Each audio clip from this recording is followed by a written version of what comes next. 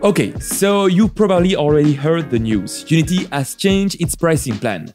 How is it working? Should you worry about it? And what does it imply for us VR developers?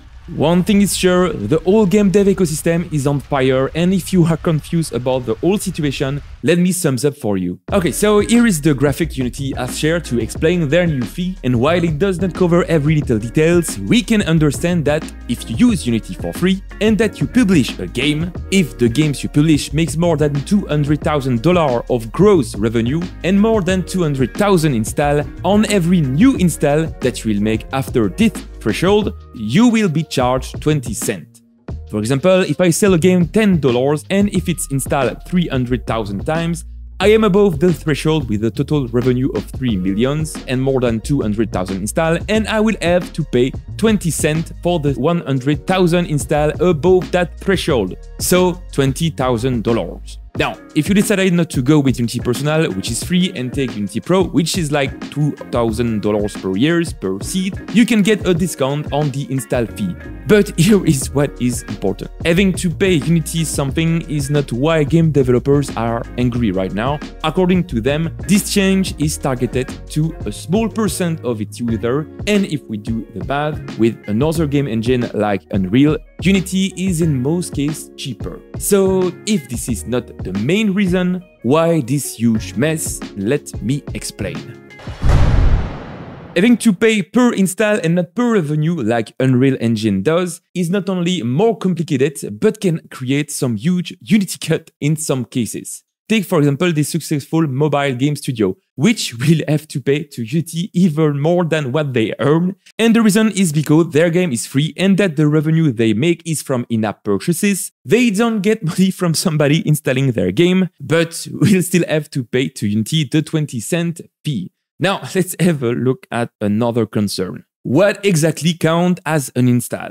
Is a pirated game an install? Is an update an install? What about game on the web? What about demo? And what if someone install and reinstall the same game?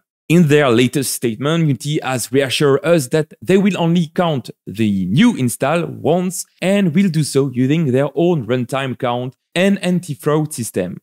In other words, we will have to rely on trusting Unity on these numbers, and this transition us to our next concern. Unity relationship with its user was already in bad shape with some questionable acquisition and the reputation of its CEO. So having to rely on Unity for what you pay is something that a lot of people does not feel comfortable with.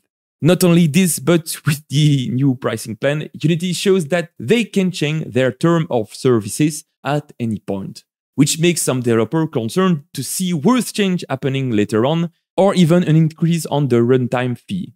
Now, this channel focuses on VR development, so let's just talk about the implication on the VR industry.